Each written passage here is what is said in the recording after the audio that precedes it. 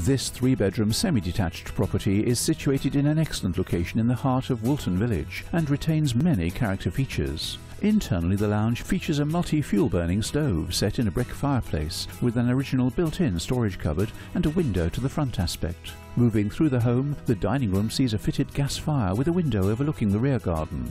Meanwhile, the kitchen is fitted with a range of base and wall units, with plumbing for an automatic washing machine, part-tiled walls and a door opening to the rear. Upstairs, the master bedroom boasts an original cast-iron open fireplace, with laminate flooring and a window to the rear aspect. There are two more bedrooms, the second of which fits a double bed and affords a view over the front aspect. There is also a bathroom complete with a three-piece suite and a fully tiled floor and walls. Externally a patio frames the lawn garden at the rear and is accessible by a gate at the side of the property. For further details please contact Whitegates today.